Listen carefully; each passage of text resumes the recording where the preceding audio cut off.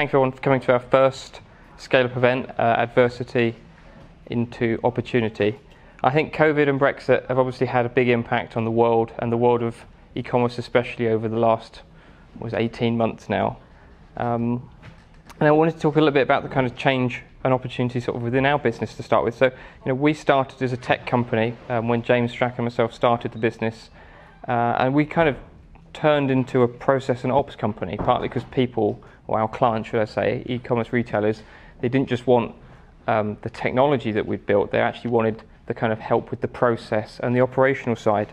Uh, and over the years then, since James and I packed our first order and we would literally pack it together, put it in the car, drive it to the post office, we've obviously grown a huge amount, testament to the whole team, you can see at the window, uh, and won a lot of awards on the, on the way. But the bit I love the most, which is the reason um, I don't want to talk about us today, I want to talk about all you guys, is the bit that really excites me is, is our clients and how we help them grow.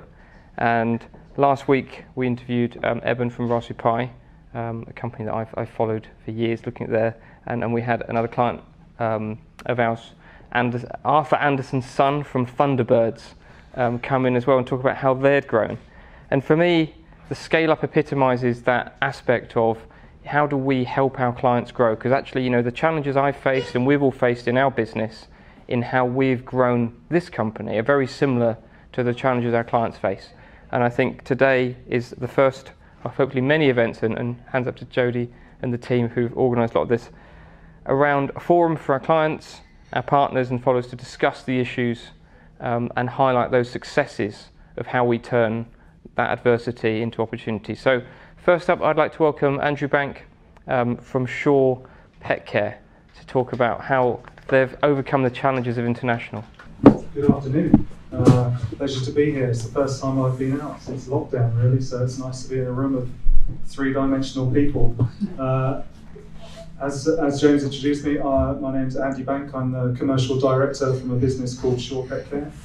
We're based in, uh, in Cambridge and we've known these guys for a long time. So uh, I'm just going to explain who we are, where we've come from, the challenges we've had, how these guys have helped us, and uh, and what the what we're current the, the current challenges that we're facing. Um, I thought this this was fitting because what success has driven James's business forward and our business forward is product market fit. And essentially, their business and our business, and I'm sure many of yours uh, are, in, are in a place where you've been able to offer your customer base something that really sets sets you apart from the competition. And, and that's clear in, in the development that James's business has seen, and, uh, and certainly in ours as well. Our business started because of Flipper. So Flipper, here on the left-hand side, born in 2001, was uh, Dr. Nick Hill's cat, so Nick was a, a, colleague of mine in a former business in a, in a, patent, a, a, technology patenting and licensing business in the audio industry. Nick went to uh, Oxford University and did a PhD at Cambridge. He's got you know a brain the size of a planet, um, and he had a universal problem with his cat. So I'm sure there are many of you who own cats, and you have cat flaps. And if you roll back to the early 2000s or even into the 1970s, you'd have a uh, a very cheap and nasty plastic cat flap in the door, and uh, your cat could go out, any other cat could come in. And that was the problem that Nick experienced with Flipper. Um, and in the early 2000s, he decided, okay, well, how, how, how am I going to solve this problem? So he, he, he upgraded. He bought himself the, uh, the next best thing, which was a, a magnetic collar. Magnet sits on the cat's collar, and, and it, uh, there's a steel plate inside the cat flap in the door and it opens up. But again, if your neighbour's got the same device, then their cat can come in as well. So he said, well, clearly there has to be a better solution. My cat's microchipped. Why hasn't someone developed a microchip cat flap? Well, probably they have. So he goes looking online. And uh, in 2004, 2005, there was nothing. He did some patent searches, found that there were some patents, but nobody ever made one. So he decided, right, I'm going to remortgage the house and scaled down what he was doing at the business we used to work in and spent a few years teaching himself electronics, developed a completely new RFID technology, patented that, set up a business called, um, I guess in the same way as you, decided that was going to design the technology and then and then license it or do something else with it. So he developed the technology, built a cat flap, went to the biggest cat flap manufacturer in the world and said, "Will you license this?" And they said, "No, we're not interested." Uh, so he thought, well, I'm, I'm not going to throw away four years of work when I know that this is a, is a great product. Uh, so he spent some more money, toured it up in China, and in 2008 I joined him. Uh, much to my uh, mother-in-law's, uh, she thought I was crazy because I basically said, this guy that I know, he's started a business making microchip cat flaps, and uh, he can't pay us for six months and he needs me to invest about 10 grand in the business to buy some stock. Um, but luckily, my wife also knew Nick and said, okay, let's go for it. And, and, the journey began. So it was really just the two of us for a few years working from home, much like James and James. You know, there's the smart guy in the background and then the affable person up front dealing with the customers. So, you know, that's uh, the synergy there. Um, we applied for some, we went for some uh, uh, investment money uh, got nothing.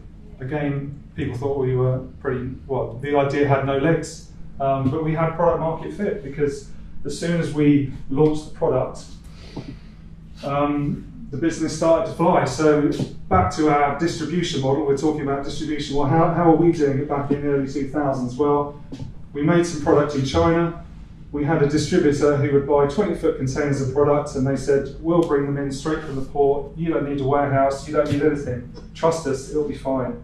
Uh, they then sold it to uh, veterinary wholesalers, then to vet practices, and then to pet owners. So, this is great, this is great. Uncontrolled distribution, not good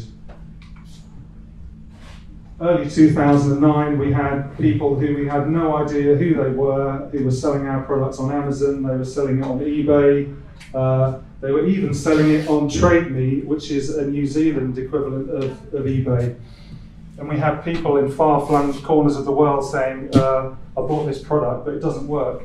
Uh, can you send me a replacement? Can you help me fix it? Uh, so we had to kindly say, well, I think you need to go back to the person you bought it from and, uh, and, and deal with them. At the same time, we had uh, awards for, for best in class product, best new pet product. Uh, so we, we then got the likes of Pets Corner, Pets at Home, Zoo Plus, who are the, the, the Europe's largest pet online retailer, knocking on our door saying we want some product. But if you go back to the previous slide, all we were planning on doing was bringing in 20 foot containers of product from China and uh, had no way of supplying these people. So then we had to go down the path of finding a distribution partner, and uh, unfortunately, your business hadn't started then. Um, so we spent about three years uh, dealing with the kind of people that you were focusing on when you developed your business and all the problems that they had. So if we had a, a missed order to a customer, you'd have to phone them up and, and, they'd spend half an hour phoning around and then they'd get back to you. The customer experience was terrible. Over the following years, uh, we, you know, 2009 onwards, we started to expand the business uh, throughout Europe and the rest of the world. Set up businesses in New Zealand because there was a clear appetite for the product over there, and had help from UKTI and the New Zealand government for that. Found an exceptionally good partner in the USA called Export Action, who have helped us set up a business in the USA. Uh, so if there's anyone who wants to do a similar kind of thing in the USA, they're still working for us. They do our customer service. They're fabulous. Uh, Australia was a bit more challenging, lots of hoops to jump through, uh, but the, uh, the biggest help were the bank. Um, um, so because we had the relationship with the bank in New Zealand, I spoke to the guy there and said, we really need some help getting going in Australia. Don't worry, don't worry, I'll hook you up with the right people. So uh, um, I've got to say that my dad was actually helping me doing, doing the accounts way back when. Um, and he said he'd just help us out from about 2008 onwards. By the time we set up the business in New Zealand, he was actually on holiday with my mum in New Zealand for six weeks. When he came back, we told him we'd set up this other business. He went, All right, son, time for you to find a professional to help you because um, the, the bank statement's now 26 pages long and you've got all these purchase orders and production things going, but it's just you know way beyond me. I looked through my old emails, James. and, and actually, in two days' time, it's the, uh, the ninth anniversary of our first meeting. Um, and it's been, uh, it's been a seamless relationship, to be perfectly honest. We've got many distribution partners around the world, and we don't, have to, we don't have to speak very much. I don't think any of my team really have to contact you guys. The, the platform is, is fabulous. Um, I, I assume a lot of people here are existing customers. I, I don't know what the mix is. It's a bit of a mix. A bit of a mix, okay. Well, if you're existing customers, you know what I mean. If you're not, then, then you, you should find out for yourselves. Um, um, if we roll on, we've gone to 2015. There's lots of stuff that's been going on since then. We've launched a number of new products based on customer demand. You know, the, the, the regular cat flap, people wanted one that scanned both ways. I've got kittens I don't want to let outside. My elderly cat don't want that to go outside. Breeders, expensive cats, so we have one that goes scanning both ways. Then, oh, I've got a really fat cat, it's too small. Okay, we'll make a bigger one. I've got a Maine Coon, it's huge. Okay, we'll make a bigger one for that. And then we made a feeder um, and, and, a succession of other products uh, along the line.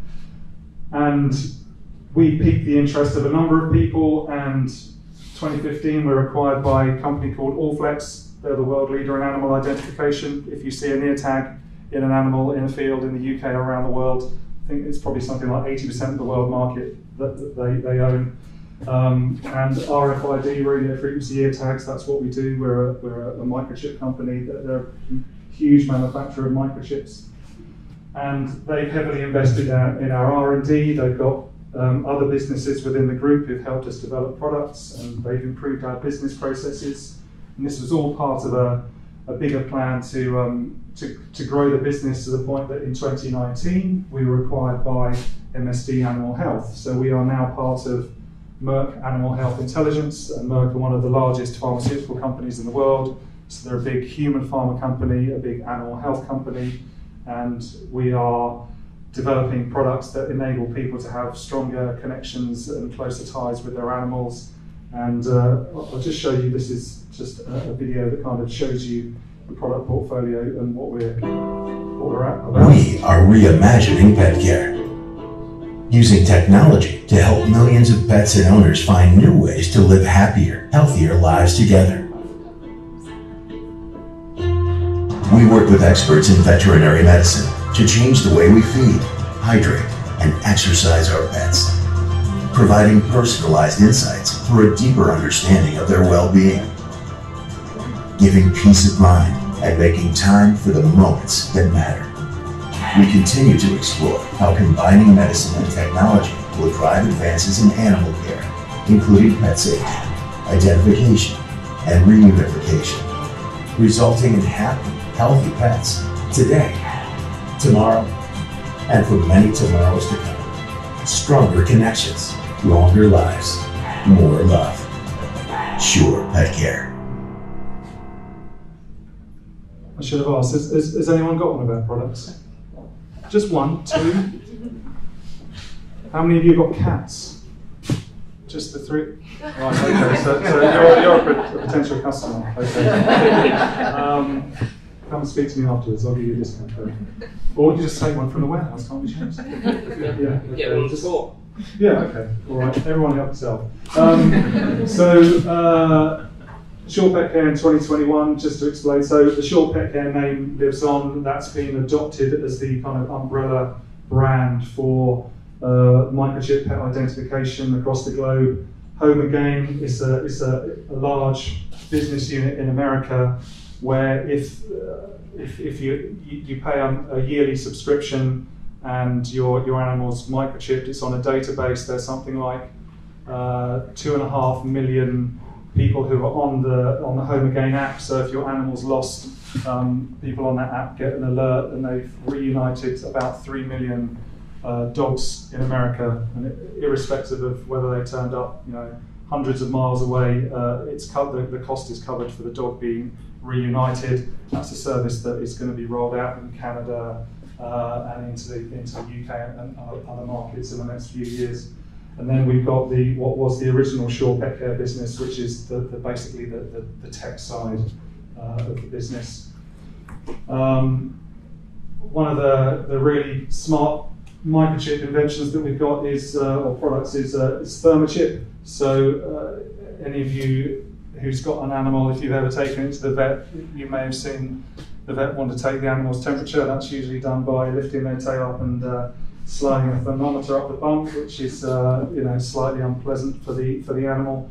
We have a, a thermochip. So the thermochip sits under the under the, the skin in the back of the neck, and we have a scanner which reads that. So the vet has the scanner. We have the ability with the products to read that. So if you've got one of our cat flaps, one of our feeders in time, that product every time it's used will be reading the temperature and informing informing people of changes in, in the animals uh, in, in, in, their, in their well-being and then it, this can be a precursor to, to, to needing some, uh, some medical attention and uh, in, again in time we'll be hooked up to, to vet practice management systems.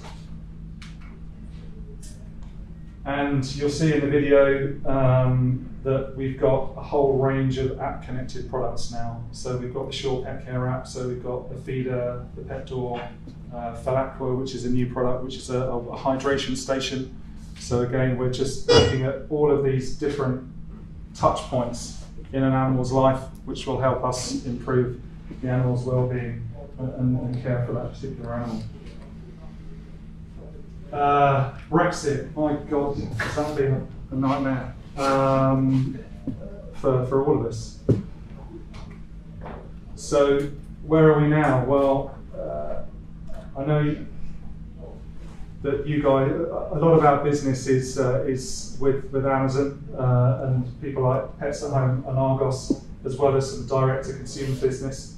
So, James and James have helped us for years with our direct consumer business our warranty replacement business, our spare parts business. Um, but a lot of what we do is moving, you know, pallet loads of product through these these big retailers. So that continues to be done by our uh, our importer, who we use, who are based up in the Fens.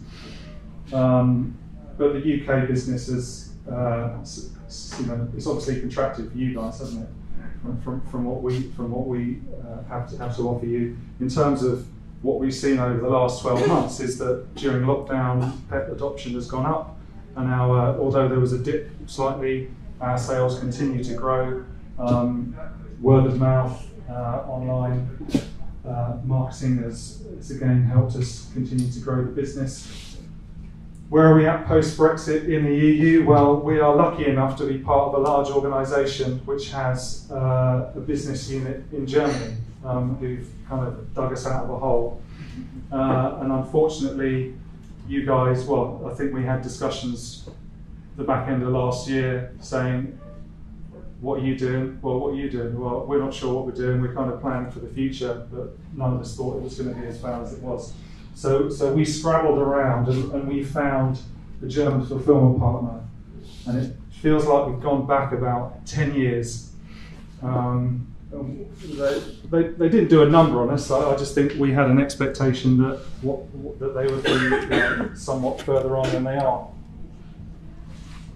So we've effectively helped to bring them up closer to your level in terms of the experience that we need, um, because our customer service agents have just had a terrible time chasing down orders, understanding where things have gone, uh, shipping information not being on the invoices right, so things.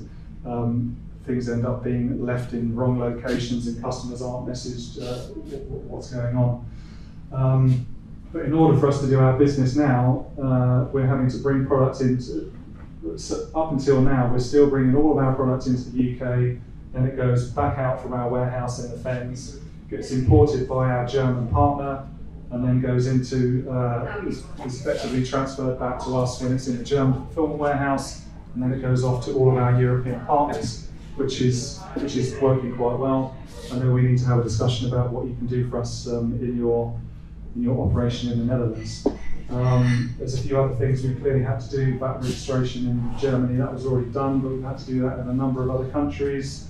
Uh, again, because of the scale of the business, we've already got an authorised EU representative for the product and for compliance, which is critical um, and a challenge for, for many people. and also uh, we'd already set up quite a bit of this already, but compliance with local recycling schemes. If you're delivering direct to end consumers, then you're responsible for reporting the weight of the product, any hazardous materials and, uh, and plastics, etc. Um, so, yeah, it continues to be a challenge. We've got excessive spreadsheets trying to manage how much stock we're bringing from China to Germany to the UK to here, there, and everywhere. At the same time, our business is commercially expanding across the globe, and at the same time, we've got massive component shortages uh, facing us from uh, from China. So yeah, we thought last year was bad, but this year uh, it's just uh, continuing to uh, be burdensome. Um, I, I, just again, I wasn't sure who was here and, and, and what we should be you know covering, but I just wanted to kind of make sure that I mentioned these things because I was thinking about what's important for, for, for us and, and, what are the things that perhaps we missed early on. Um, and uh, you know, product compliance is, is something that, that I guess we didn't know enough about, but it's a massive it's a massive challenge. The rules are continually changing. We've got somebody in in house now who who manages that. Um, but it varies from country to country. We've started doing some business with Russia, real pain, real pain for us. Um, but these are, you know, I guess these are the fun bits that we need to, for, for the expansion. And that was, you know, back in the good old days when I went to Australia and had some fun on the beach with our company mascot. Um, what's really driven us forward is the fact that we got this product market fit globally. The cat flaps have limited uh, appeal in America. They've got a huge number of indoor cats. Uh, in Asia, people don't let their cats outdoors, and if they did, they'd fall off the balcony of their apartment building.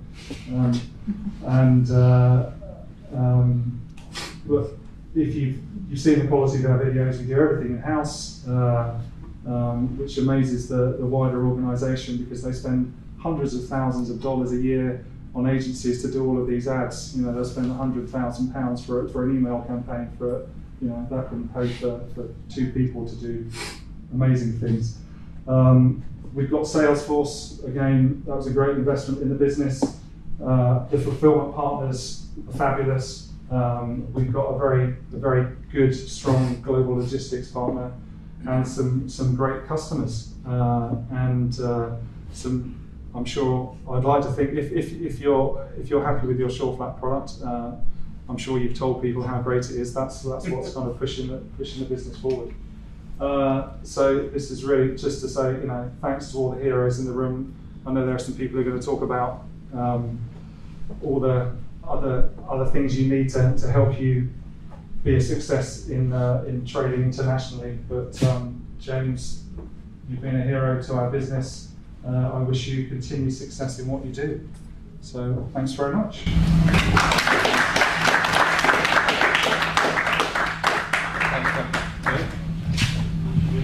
Uh, yeah, thanks very much, Andy, and great to hear that story. And lots of challenges there by the sound of it in going outside Brexit.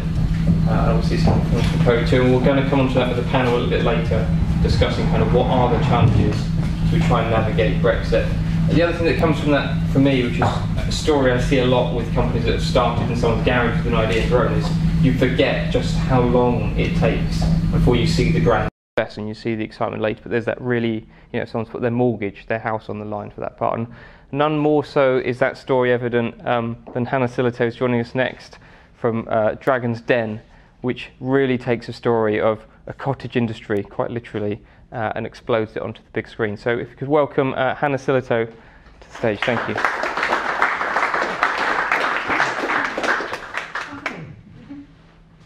It's actually the second time I've been allowed out of the office this year, so this is very exciting. And it's really nice to see everybody. I'm often asked whether or not I get nervous at these events talking to rooms full of people, but I don't think anything is as nerve wracking as looking Deborah Meaden in the eye and asking for, for £60,000. That was uh, quite a scary moment. So I was on Dragon's Den two years ago now, which feels crazy. I can't believe so much time has passed. But actually, my story started long, long, long before that. And as James said, you know, an overnight success is often years in the planning and in the making. And my business started off not as a business at all, but actually as a, as a personal journey. You sort of hear those kind of cheesy lines on Dragon's Den all the time, but it really was this personal experience of mine. So I often think I should bring the pictures along, but they're quite shocking. When I was a teenager, I developed really bad eczema and psoriasis. I certainly wouldn't have been stood here talking to you in a, a short sleeve dress and bare legs.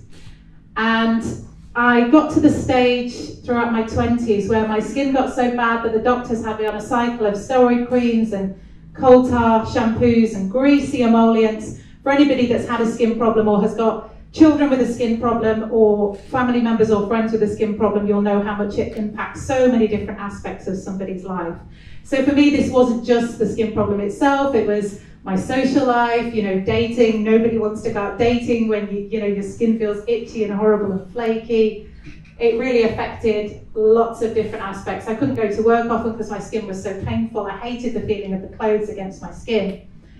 And probably seven years ago now, I went back to my doctor. My skin had flared up so badly that I really couldn't go to work. I couldn't go out. And I said, the steroid creams are not doing anything, it's not having an impact, so I need something different. And he suggested a, a medication called methotrexate.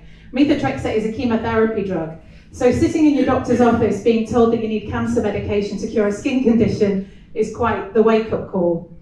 And the intention was to suppress my immune system, and that in turn would suppress the, the autoimmune response and would temporarily, because they weren't promising this as a cure, make the skin condition go away. And I really had to go away and think about it because although it's quite a dramatic thing to be offered, I was still in a situation where, you know, I couldn't face going to work. I remember having to go to a meeting in London and getting on the train, applying greasy emollients to my tummy, wrapping myself in cling film, putting a shirt on and going to work. And my friend Rachel saying, oh my gosh, you've lost weight. like, no, just can't breathe because I've got this cling film wrap on. So yeah, it really did affect so many different parts of my life, but medication was just not a route I wanted to go down. Applying steroid creams is one thing, but you know, cancer drugs is a whole other level. But I knew that I had to do something. So I went online and I started researching, and actually I hadn't researched for a long time. So the last time that I'd looked online to see if there was an answer or a cure, there were like five people in an AOL chat room talking about psoriasis, and this was back in the 90s. And all of a sudden I went back online to have a look, and there was this whole wealth of information and people talking about changing their diets. Well, my doctor had always told me that diet made no difference. And when you're struggling with a skin condition that's affecting enough of your life already, the last thing you want to do is start quitting alcohol and quitting junk food. And that was kind of my comfort. So that wasn't a route that I really wanted to go down. And I think my doctor saying that it wouldn't impact my skin just made me lazy and made me, I guess it was an even, even less of an incentive to bother making those changes to my diet.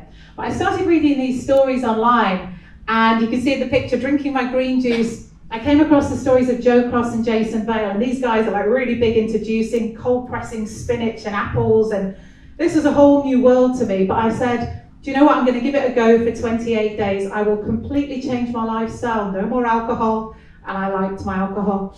No more pizzas, no more junk food for 28 days, and I'm going to start drinking the green juice. I'm going to eat salads and keep meals very light. And after 28 days, I went out in short sleeves for the first time in years, and nobody said anything. Nobody commented because my skin had healed to such an extent that you actually couldn't tell that I had a skin problem.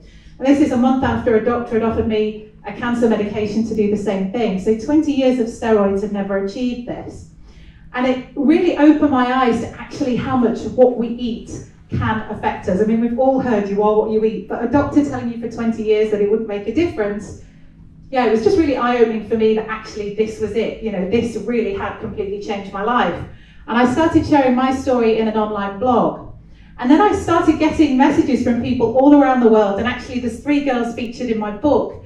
And they were the first three people to get in touch with me. One girl was in Oxford, one girl was in Sweden, and one girl was in Malaysia. And they sent me their pictures and said, We've seen the same difference in a month from making these changes. And eventually my blog became my book, Radiant, which has now sold 40,000 copies, which is crazy. And we've translated it into Spanish, French, and Hungarian. So the book came about because I just had friends saying, you know, this is a miracle. They'd obviously seen me struggling with my skin for a long time. and they said this is a story that really needs to be shared on a wider level. So I wrote a book, as you do. I kind of put all the information that was in my head down on paper and then Googled how to publish a book because I really had no idea. And there's obviously two options to go now to get a publisher or to self-publish. And so I thought, well, I'll just email some publishers. How difficult can it be? And then it says online, actually, that's not the route you go down. You need to get yourself an agent. So I thought, okay, I'll email some agents. And it said online, you know, you generally need to wait four to six weeks for anyone to reply because they're very busy. And I just don't really have much patience. But I sent these emails out, and within a few days, I had three different agents ring to say they were really interested in publishing the book. So I thought this is a story that people are excited to share. And I worked with one particular agent, and she said, We need to be patient when it comes to publishers, and you need to give them six to eight weeks to get back to us. And again, I was like, I've got no patience, I just want to get this book out there. And actually, the publishers came back to us really quickly and it's published with Kyle Octopus, who are a London publisher. So they created this really beautiful book, and it's this gorgeous sort of hardback, highly illustrated, lots of photographs. And I wanted it to be a book that people who are struggling with their skin would be proud of. So not something that sort of gets squirreled away at the back of the bookshelf because they're embarrassed. I wanted something that could sit on the kitchen table and they would be proud to, to share it with people and that's what we created. And the Daily Mail ran my story a few times, and that always kind of bumps things up. So out of six million books on Amazon, we got to number two. Joe Wicks was at number one and number three, so I was like a Joe Wicks sandwich.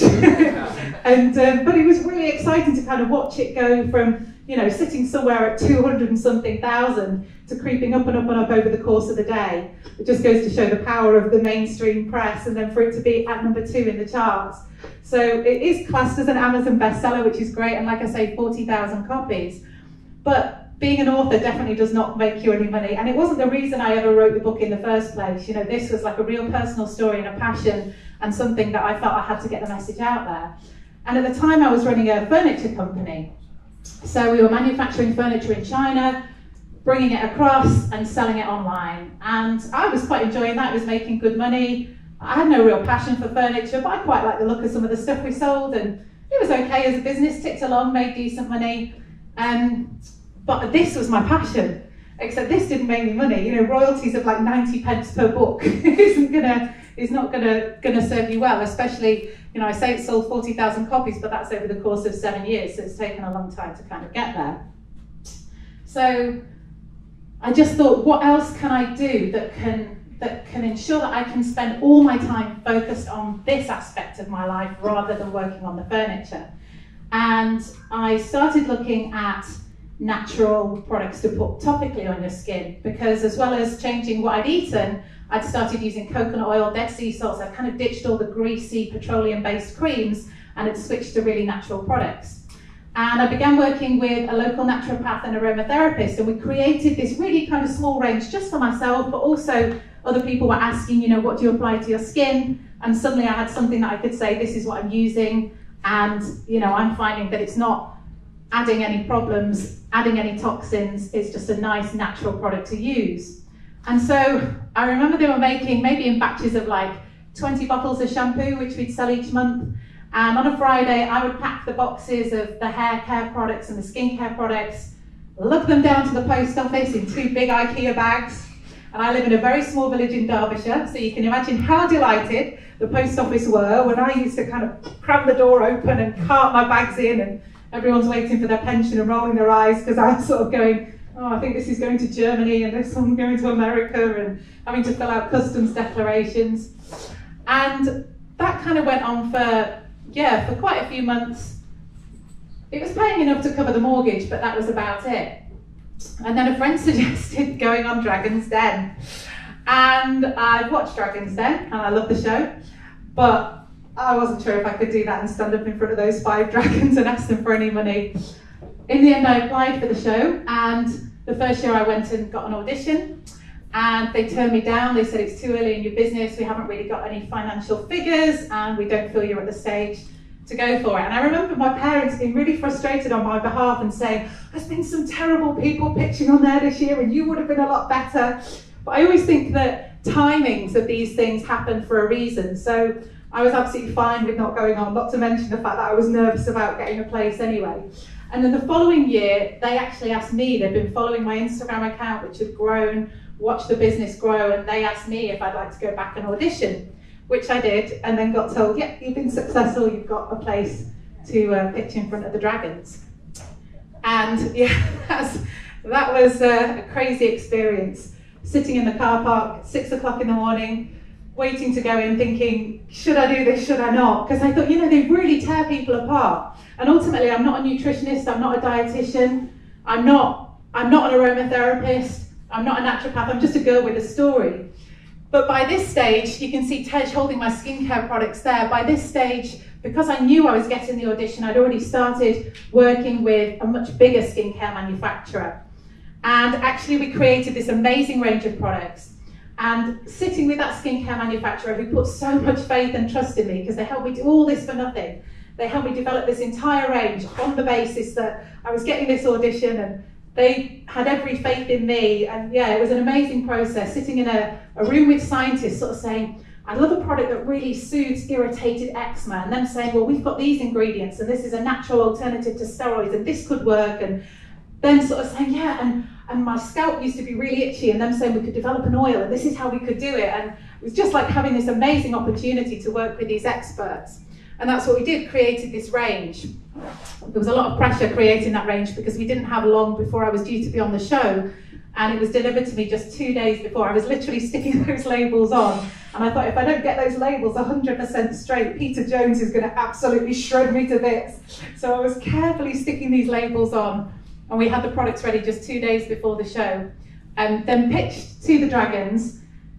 And yeah, there's a lot of a lot of interesting things about Dragon's Den that I find not everybody knows. So the lift isn't a lift, which I was like, what? when I walked in, I was like, what? No, no, you just walk in and then it opens and walk out the other side. It doesn't go up and down. No. Oh. And the other thing is how long you're in there. So the bit that you see on TV when you're in there for 10 minutes, the reality is two hours. But actually, the producers had said to me, the longer it goes on for, the more chance you've got of getting investment. So I was thinking, you know, as the sort of minutes tick by, I'm thinking, this is good, they're asking me questions. Um, and they are really ruthless. They really do absolutely sort of uh, go into the ins and outs of every part of your business and your business plan. But I was really fortunate. All five dragons offered me investment, which is quite unusual in the den and not something we practiced. So I'd sat and practiced with my accountant, practiced with friends and family. That was a scenario I kind of wasn't prepared for. And I'd said beforehand, I'm not going to be that idiot that goes and stands and talks to the wall on my own. And of course, as soon as Deborah said, Do you want to talk to the wall? I was like, Yep, yep, yep, that's me off. and I just stood there thinking, Oh my gosh. And then you're looking at this brick wall, and I could see these little hidden camera lenses in the wall. And I'm thinking, They're watching me even here. And yeah, I was so nervous. But it was amazing, and I, I chose Tej and Peter, who have been fantastic. And just as, as we sort of approached this stage, I knew that I couldn't turn up at my local post office with the amount of orders that I was going to get on the night of Dragon's Den. You're talking three and a half million viewers. And I thought, even if just a small percentage of those people buy something from me, the local post office are going to turn me away if I turn up with these orders. So I sourced a fulfillment centre. And I had no idea what I was doing. So again, I Google searched it, fulfillment center, and I came up with a, a, a, number of options in London. That's just what happened to come up at the top of Google. Rang a few of them, spoke to them, got some very good sales pitches, and went to meet one of them. And it looked good, you know, it looked good. Certainly nothing as big as this, but it looked competent and, and everything else. And um, and they assured me they could handle a, a large volume of orders that we were due to get on the night Anyways, it turned out they couldn't. Um, so that was the first learning curve. You know, we had everything in place, the stock arrived, and I think it took them in total three, four weeks to get the orders out. And of course, these customers were waiting for it the next day, as everybody does, especially with Amazon Prime. And yeah, that was not a pleasant experience.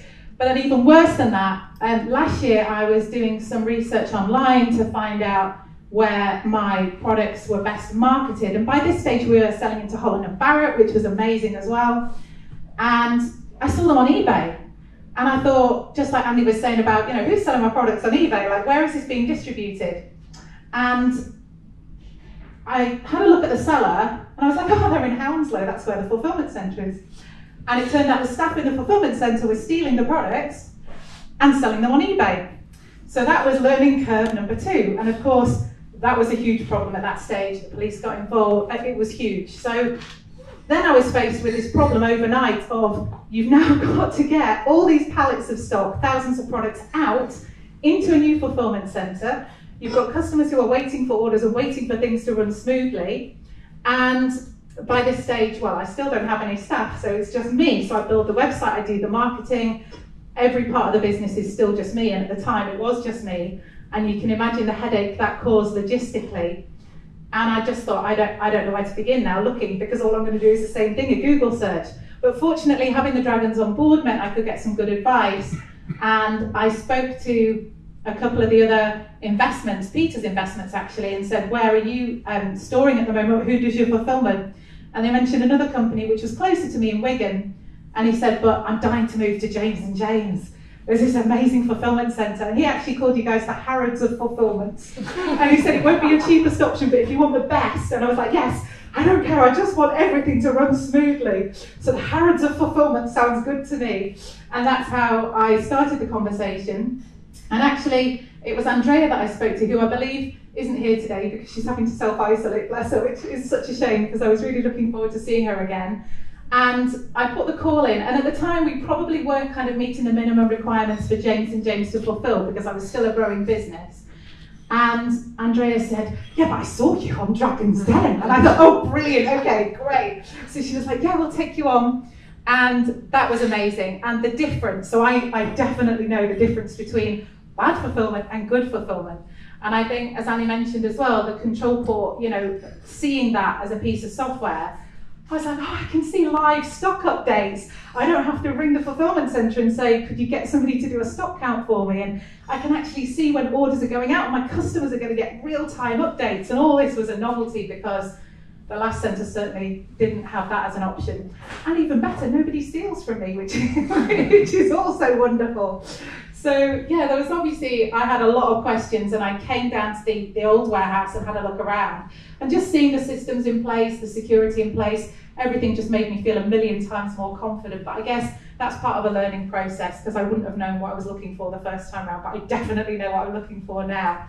And as we expand and hopefully the business will grow because you know that's the intention and it's been a, a fantastic year. Last month was the best in terms of turnover in sales so far, which is exciting. We're starting to market a lot more now, starting to do a lot of advertising because we've kind of got the good foundations in place and I'm confident to do that.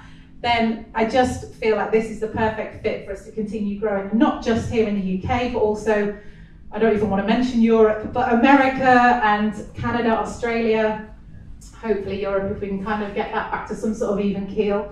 Um, Brexit, yeah, causing me nightmares too. And it's just really exciting to be working with a company that I can put my faith in. Um, my life is going to change dramatically as well over the next few months. This is not canapes, this is, this is a baby.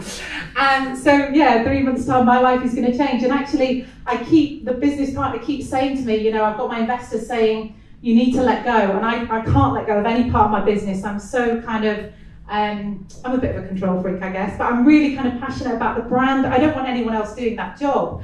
So to have somebody who I can trust to take the fulfillment side away from me is wonderful because I know the orders are going to come in and they're going to go out and I don't have to worry about that. There'll be a lot of other things I have to worry about, this one in particular, but not this part of, of getting orders fulfilled. So for somebody who's still a growing business and at the very early stages really of what I'm trying to do, having the confidence and faith in, in my fulfillment partners is really important. So I'm excited for the next few months and years ahead.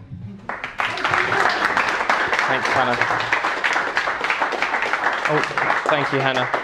Um, and I think what's even the most exciting about that is, is I know you got your product into Holland and Barrett just pre-COVID, and we've not really seen the uptake on sales of that yet. So I know there's a lot more to come. Topic for today is obviously you know mostly Brexit and slightly COVID, but looking at really I think international trade and, and how we manage that. Do we have any questions from the floor to start? If not, I can rattle off a few. Clear. It's all clear, yeah. well, I think we go to Andy's presentation, um, and thank you for sharing the story of you know of how the company's grown.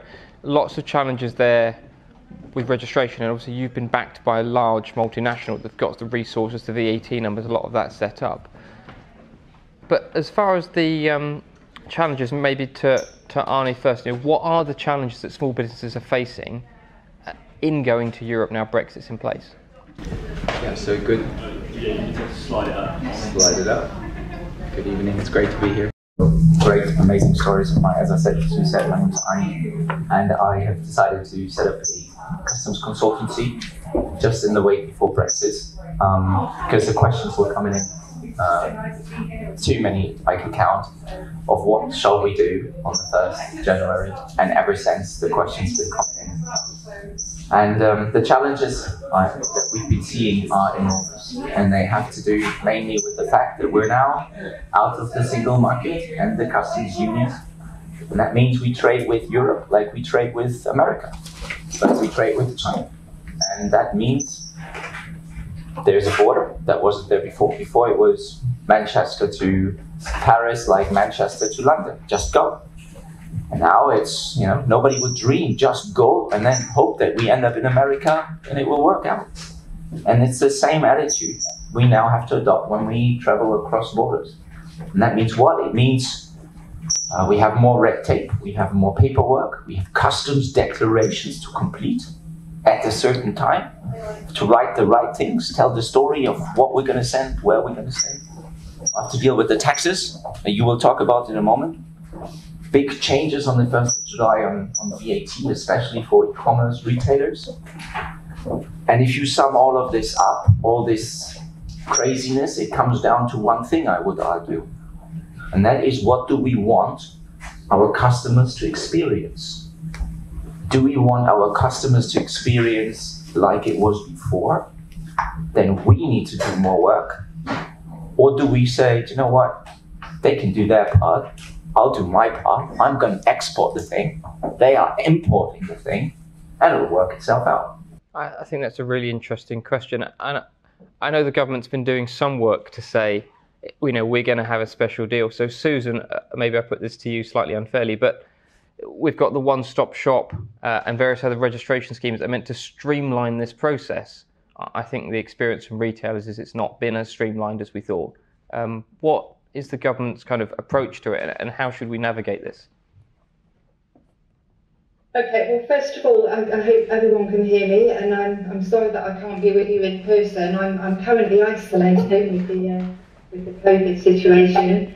Um, so, first of all, I, I can say I, you know, I very much businesses at the moment. We're facing challenges with COVID and, and with coming out of the EU as well. Um, I work with the Department for International Trade on their export um, export growth side. So in terms of the, what is the government doing, um, I, I will answer that as best I can. But basically, things have been put in place, funds have been put in place, um, support through an advisor network has been put in place. Um, and for those businesses who are based in the in East Midlands region, they can tap into our network of international trade, trade advisors for support and myself for digital uh, trade support.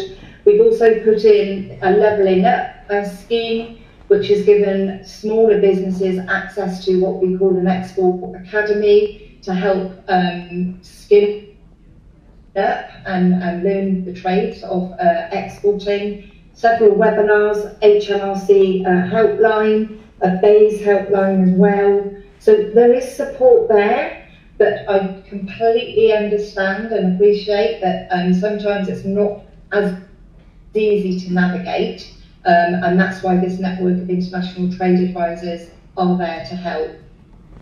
Thanks, Susan. Um, helpful to, and I know there was obviously the, I think it was a, not meant to be a joke, but it turned out, you know, the government advice was actually goes up overseas. And I know that's what we've done actually. We've hired more people overseas and less here, which is slightly counterintuitive and, and slightly frustrating. But Emma, you've obviously helped a lot of small companies with the challenge of how they become registered overseas. Let's not go through the whole every single step you need to for tax. I'm sure you can read that on one of your many um, blogs online. But what are the biggest challenges that you're seeing that aren't necessarily documented? What are the, the difficulties in tax?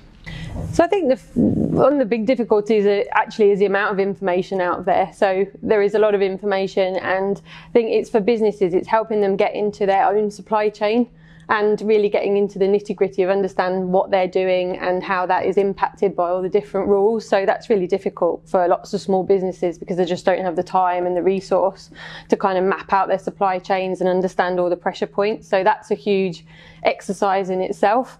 Um, but I think it's uh, understanding the countries which are open to business in terms of if you look into the EU, so places like the Netherlands, places like Belgium, um, so you can get registered there a lot easier. They're open to business from outside the EU and they want to help. There's facilitations there. So that's um, one of the things that we're helping is using that practical advice to say actually these are the places you should think about if you're going to sort of start and register for VAT, and then they they want to work with the customs side, they want to work, you know, their banks and their government are, are all working together for you as business, as some of the other EU member states can be notoriously difficult to work with. And I guess um, back to Arne's point, you know, this is the same relationship with the US, and we think of the US as one country, but actually, when you start trading the US, you realise that it's actually like 50 countries or how many states there are, I forget how many now. But is the EU the same thing? Are we actually not dealing with Europe, but we're actually dealing with however many you know, member states there are individually? Yeah, so you've got like general principles that apply across the EU, and that was the same for the UK when we were part of the EU. But each,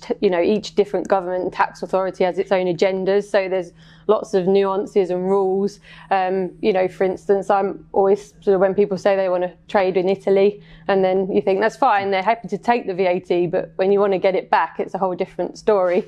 So um, you know, it's, it's, knowing those sorts of things that um, are difficult maybe for for smaller businesses. And so yeah, the, the EU as a whole is one entity, but each member state is different, and it's getting to know your customers where you which fits your culture, you know. So it's all those sort of things come into play. Oh, thanks very much. And one thing I wanted to get from today is, you know, I don't want to just look at adversity because actually, you know, we're here to talk about adversity into opportunity.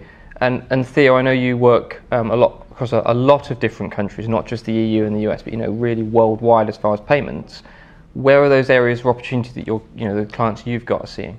Yeah, I think it's um, it's obvious that Europe is a is a difficult nut to crack at the moment. But um, and we've actually seen, and not to have a negative spin on this, two out of three e-commerce sellers have um, a downward trend year on year. Um, but to me, that sort of talks about there's probably an opportunity there, and one that you could um, you could exploit through partners like Arne, like yourself. And I think you need to to really push your service providers for their partner partner network. Um, I know that a lot of our sellers are struggling to get stock into to European fulfillment centres, for example. Very topical and uh, probably something we, you and I should talk about. But um, and a lot of it is down to just uh, um, handlers not wanting to, to move goods because it's so difficult to get it into FBA, for example. So um, I, I, would say Europe is not a, sh- a closed door. You just need to put a bit more strategic effort into to figuring out how to crack it.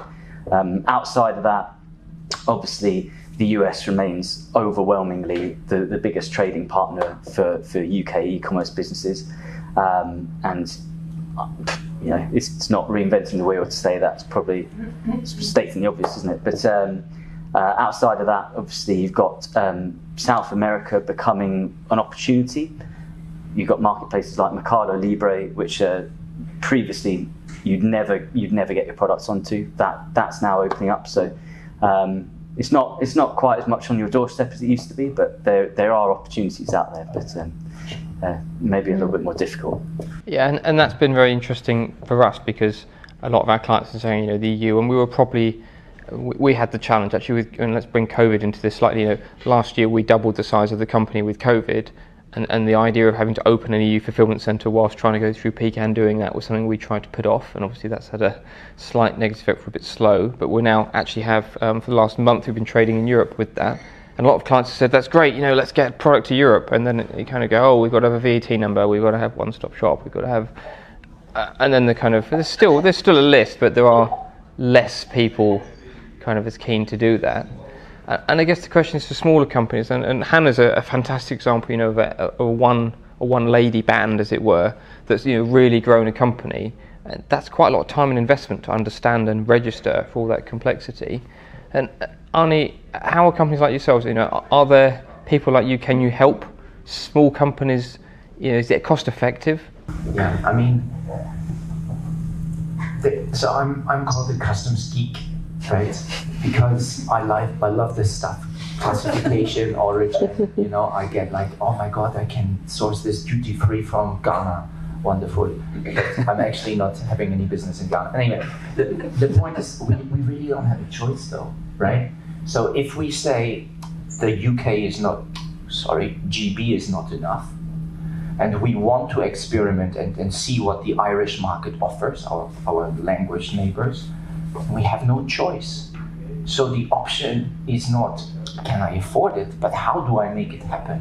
And therefore, of course, um, my business grows when you guys grow. Logically, the more customs declaration I help you make, the more you're going to sell. But the one thing that won't change is the fact that now we need to make these customs declaration. We need to geek up, and everybody will grow faster if you geek up a little with me, and I'll be there to hold your hand and guide you through.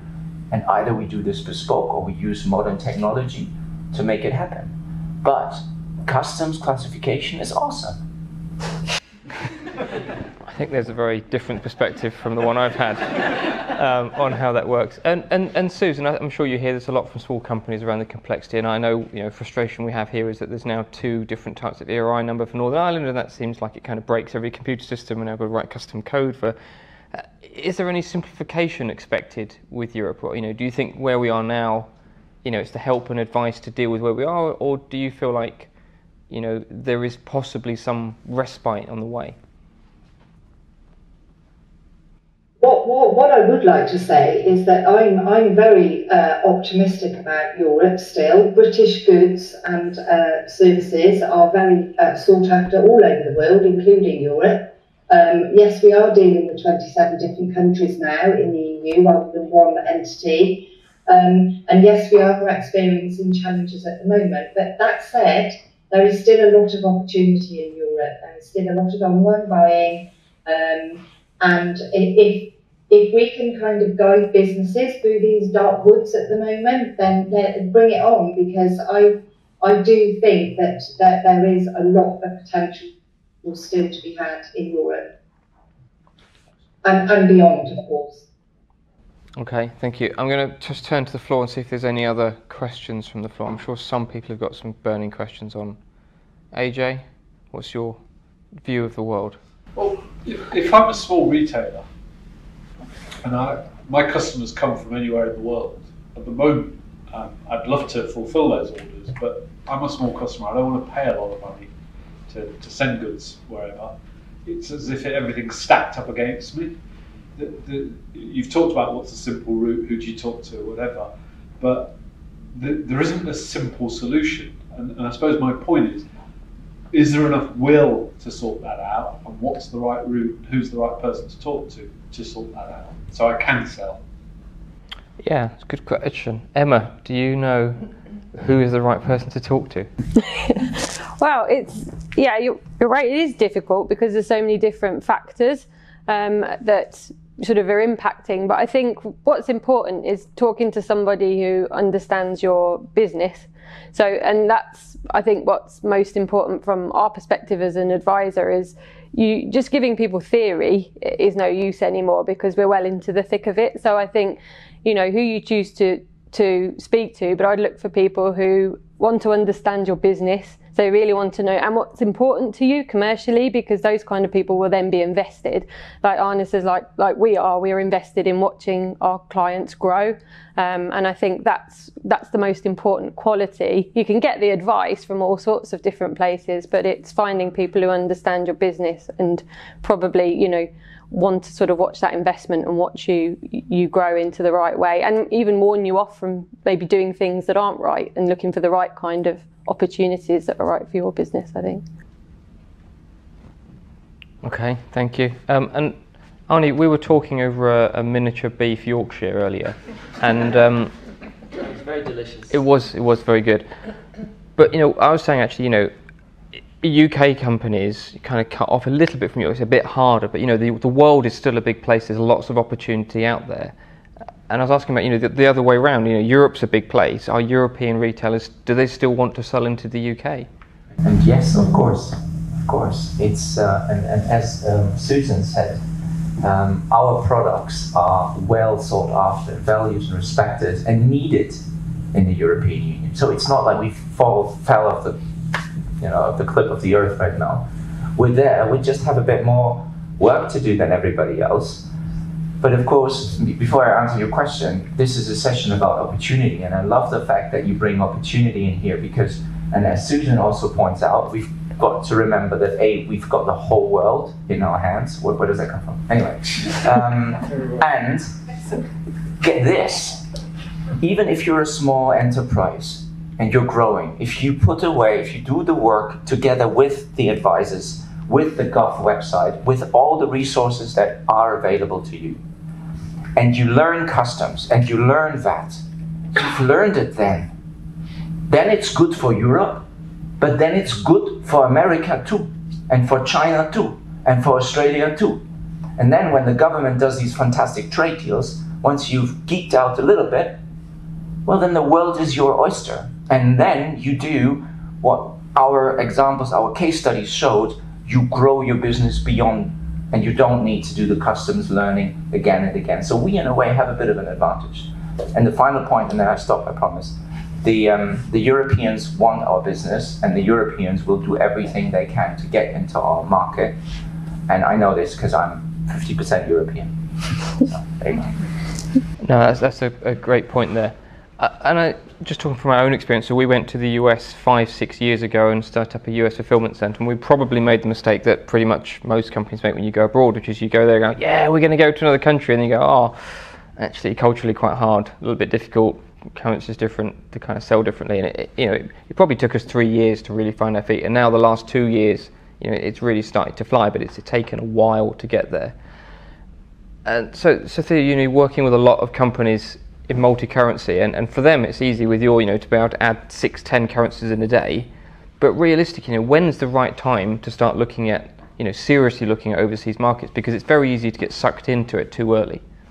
Uh, good, good point. Um, I think we've seen increasingly that um, a lot of smaller size e-commerce sellers are now just um, sort of head in the sand, which is how I describe their strategy. There's the, the barriers to to selling in Europe are so hard, but surely they'll get better because it used to be really easy and that. But so I'm just going to wait and focus on the UK market. And there's only so many people that can focus on the UK market before you think, well, actually, that's going to become quite a competitive, difficult arena to sell in. So, um, when is the right time to sell abroad? I don't know. I, there are not that many barriers with people like yourselves, like like the company I work for, WorldFirst, where we uh, facilitate overseas payments and collections. Uh, the tech is out there. We're, we're, not we're not in 2010 anymore. You can you can get really good solutions. Um, to, to, your question uh, earlier, you can get um, sort of institutional level um, support from from currency brokers, that sort of thing, um, for, for the small and medium enterprise. So um, I, I, wouldn't say you need to, to sort of conquer the domestic market before looking overseas. It's not it's not that big a big a barrier, but that, that's my opinion, and everyone's probably got a slightly different slant on it. So, anyone else on the panel got a, a different answer to that question, or? Emma?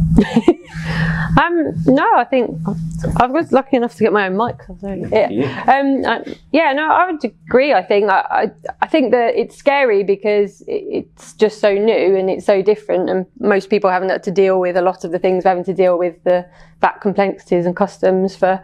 Um, you know, however many, 30 odd, 40 years. But, you know, it is just a case of becoming familiar with it and, you know, and just making it part of your everyday business. And investing in, like I say, investing in a bit of that training and getting to know, it, it isn't that difficult. I mean, I shouldn't really say that because obviously this is why I get paid, but you know, eventually people, it'll become part of everyday business, you know, and the same way it was when we joined the EU, you know, for businesses had to deal with that then. So I think, and you're right, there is so much technology to assist, you know, whether that's customs or VAT. There's amazing people out there who don't charge a lot of money to automate things. So yeah, automation and tech is an awesome point that that can really be a good friend as well. And Susan, just put the question to you, as far as the, the DIT helping companies go overseas, is there a sort of a size or a threshold you say, you know, this is the point you need to start looking, or, or you would say to smaller companies, actually, you know, the UK is still a big market, actually, you know, you should be investing in the UK first? I would say with, with e-commerce particularly, you know, there are no physical trade borders or barriers. Um, so you can set up a website or set up marketplaces and you've got access to potentially the whole world. And businesses do start to see sales coming through their websites from overseas. But it's the difference between being reactive to that and then being proactive. So if sales are coming in from a particular market, some pretty good sales, then that's probably the time to start getting proactive. And, and my advice there would be to optimize, localize, and analyze for, for those markets and create a plan for um, getting more traction in those markets. Um, and, and again, with, with, with e-commerce, there, you know, those sales will come in. But imagine if you did localize and optimize how much more those sales would come in. Um, don't try and conquer the whole world at once. Do your definitely do your research. Um, even with the states, yes, we have to see it as 50 different countries, if you like, and yes, we speak the same language. However, there are 4,000 or so different terminologies between British English and American English. So optimizing and localizing your keywords for how people find you on your website, for is important as well. So don't think just because they speak the same language, don't they, it's going to be easy, an easy market uh, to go into because again it needs planning. There's something like over uh, 194 countries in the world, and yes, there are similarities between some of them, but actually they are different countries that do different things in different ways, different languages, cultures, buying trends, and all that needs to be planned out, uh, and the support is out there in order to do that.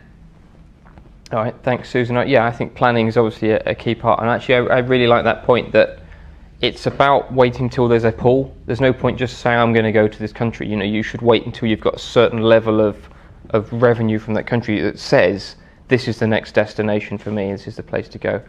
Um, I'm going to pick on, on Claude, who's our, our Chief Customer Officer, who's responsible for looking after the 400 or so clients. What's the biggest question you're being asked currently? There's probably more than one actually, but but it, it is around the just the confusion of of what what they need to do. Sort of picking up on on AJ's point. You know, I'm a small retailer. I sell whatever. This is this is complicated. I'm not a customs geek like you, your words, not mine, but customer. customer geek. Um, and so that so there is some confusion and and what do I need to do? How do I do this? And and it's it, it is complicated. And as you said, you just once you get used to it, it it's okay. But it's I think a lot of people have, have not left it to the last minute to, to read up on it because everybody's busy, everyone, everyone's got things to do, everyone's got stuff to sell, right? And so um, it, that's probably the biggest question. What what do I need to do? And that's and that is actually quite crazy if you think about all the gov.uk times we, we are googling gov, gov.uk and we're seeing do this do this do this there is too much now i'm not, I'm not saying this is not a criticism but um, but there is for everything there is something that gov UK will tell you, and nothing applies to you, it feels like. So the end result will be that we need to sit together, as Emma says, and says, okay, where are you going to go? What are you going to do? And based on your business model, what you want to do and you want to achieve, let's do a plan of action. Let's not overcomplicate the world. the top three things we're going to do right now, and then this is what we're going to do next month. It's, but as I say, if you are an entrepreneur and you're building a business, Brexit is not going to stop you. Come on. No, that's true. But I think that that experience you're talking about is vital. I know when we went to the US and I started reading about all the legislations, and you were sitting there thinking, "Ooh, perhaps we should give this one a miss." And, and the reality is, you start speaking to them and say, "Oh, well, you know, technically you have to register for this, but you know what? Unless you're doing, you know, more than hundred thousand dollars a year, you can leave that for three months." And you know, there's certain things that that you kind of have to do, but you can kind of avoid for a bit. And and actually, you know, there's there's a simpler way, and the journey isn't that complex. But I think you know, because it's so different so different places, that it's understanding what that journey is. So, who do we need to sit down with? Is it is it the Department for International Trade? Is it an advisor like yourself? Is it a tax advisor? You know, who is is there one person, or is it actually having a, a meeting with everyone in the same room? Yes, go on, Susan, please. Um, I would say it was a it, it would be a, a mixture of of all of those and, and above, all of the above. Um, so certainly within DIT, the uh, network of international trade advisors, they almost account manage a company and will tap into Arne's expertise, Emma's expertise, and WorldFirst expertise as and when needed, and signpost businesses to that support. But as a, a, a first port of call, perhaps the DIT that can get your ducks in a row and work out a plan with you and then bring in that expert help as and when needed. Okay, thank you. I don't know what the others.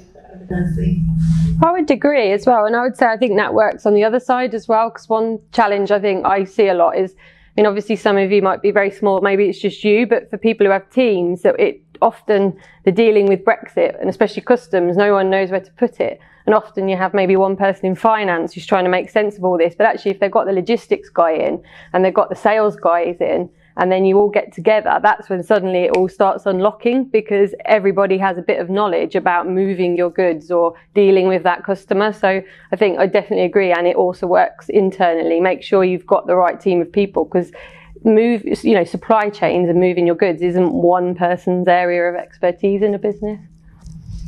And maybe the one it's a big Go ahead, lady first. Only, I'm sorry, I, I interrupted. I was just going to say international trade is a massive landscape. And, you know, we, we all work together to help businesses get where they want to be. The, the only thing I would add to that is sometimes, of course, you don't have the luxury of of you know having a plan because the goods are stuck at the port, right, and they need to be released. In which case, you might want to have a customs manager on speed dial. Yeah, and I, and I think we've definitely seen that internally. The challenges we've had with, with Brexit have been compounded by, I think, um, I mean, Brexit officially happened the first of January, but the legislation wasn't kind of officially published until about the third week of January. So there's a, been a few black holes, and a few couriers are still kind of implementing stuff they don't admit it, but I think there's some people still implementing bits in the background without saying, and that's causing a lot of what looks like Brexit problems, but actually probably IT problems in, in other people in the supply chain. Um, and just drawing to the end of this, but looking at opportunity outside of just Brexit, you know, COVID has changed the world as we know it, and there's a lot of opportunity. E-commerce has boomed. Um, some parts of e-commerce has boomed more than others. Some will go back to the high street, but some has been a definite change. Theo, from the, the clients you work with, has there been a general trend? Are there certain industries, if you're thinking of, you know, if you're running a, a portfolio of small companies or you're, you're thinking of starting a company, are there certain industries you're sitting there going, you know, don't don't go there, or you know, this is the way forward? Um, good question. Um, we saw.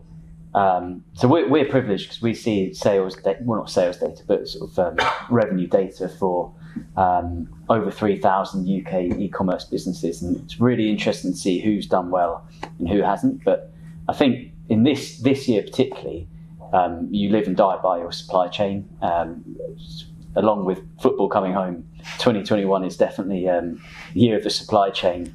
Blocked Suez Canal, shipping containers going through the roof. Um, so may, maybe not. It's maybe how well you operate your business, how well you manage your supply chain. Um, um, certainly heard some interesting stories about businesses that that uh, didn't do well, but probably won't dwell on dwell on those. Um, but no, I don't think I don't think um, it's too specific on a category. We've seen an overwhelming boom across e-commerce. I know that's not a particularly insightful uh, response, but it's fact, fact of the matter. Um, we've yeah we've seen really um, strong growth across multiple categories. Um, maybe, maybe, you maybe you've got some interesting insight on that, given that you're you're handling the packages. Yeah, I mean, I, I think for us, we've seen uh, various stages in it. So there's the kind of pajamas and sort of be- beauty went down, didn't it? No one wanted to wear makeup to sit at home on their video calls. So it was, you know, can I buy some comfy pajamas? Can I buy a blanket? Um, can I buy some moisturiser? I think you know Hanna's probably a particularly good area of the market with sort of you know natural organic skincare. I think people have spent a lot of their beer money probably on on healthcare um, to feel more you know, rejuvenated at home, sat at home. I think home office supplies, I'm sure people that sell swivel chairs are doing very well. Uh, I know Argos and IKEA have been sold out of flat pack office furniture for people who are trying to make their office less back-breaking than sat on a beanbag um, in the corner of the bedroom. Um, and, and, Emma, you've obviously got a broad range of clients as well. Are there any that have actually pivoted that you know of that have actually, you know, they've, they've been in this industry and it's starting to change? You know, much like our company, we started off with the idea of being a tech company, turned up being an operations company, now starting to go back to developing tech again. Have there been companies that have just completely changed their business model from COVID? Yeah, I, I, we've definitely seen um, there's been a sort of a whole new wave of work this year, which is the the new way of delivering something traditional. So that's what we found because, like you say, suddenly people have realised how easy it is to access information or goods or services via um, a tech platform. So we've done a lot of work with around um, sort of education, tourism, and um, as well in the sort of medical space where suddenly there's a whole new world of delivery straight to the consumer via a tech platform. So um, that's been so interesting because it's really old law you know, legislation written for this world that was never imagined. So that is fascinating as well, and yeah, really changing the way they deliver things. That is an interesting point, actually. Uh, just as a, complete sort of interesting fact, the, the Digital Communications Act was signed in 2000, which meant you could electronically sign something, but it was only last year that our lawyers actually allowed us to digitally sign something without requesting it. So there's progress for you. It's taken 21 years since the legislation, um, but we can now e-sign stuff. Um, any final questions? I've, I've got one around the ideal world for a customer or for a client. You know, I've got a business I want to. So the ideal world for me is one currency, no VAT laws around the world that are different, and no customs issues. You're going to put this like out of business. Do you ever see that happening, and in what time scale? I, I, I, think there might be a, possibly a too too many people with too many fingers in pies to allow that to ever happen because there'd be a lot of business that would be uh, marginalised by that utopia. Any other thoughts on that? I mean, it is the first time a country's now made Bitcoin their official currency, so you know we are. Well, then we're going to tax that. Yeah. That, that's not going to happen. I mean, that's it. There's the optimism. Of different currencies, that can't happen. I like to, you know. But I love the enthusiasm. Yeah, and it's it's interesting, you know. Yeah. The government sort it out, not companies. And I think it's an interesting comment actually because there's a world of opportunity, which is you know while we don't have you know a single currency, why don't we have no regulations? Why don't we trade internationally? And the reality is, I think is you know the experts are saying it's never going to happen. I don't know if that's because we've got too many pessimists on the panel, um, or whether that's just the cold hard world of the reality we live in. Well, some countries are trying to harmonize their currency and, and, and do away with un, you know, different regulation. We know what we call this construction of 27 countries. Good point, and, and uh, well, look, perhaps we should end on that note before we, we go down to the politics and further. Um, thank you everyone for coming. Um, some of the team are going to offer tours of the facility that anyone's interested in seeing behind the glass window. Um, thank you much Susan joining remotely. Appreciate the, uh, the difficulty of that, and, and to the rest of the panel um, here. Thank you very much. Give them a round of applause.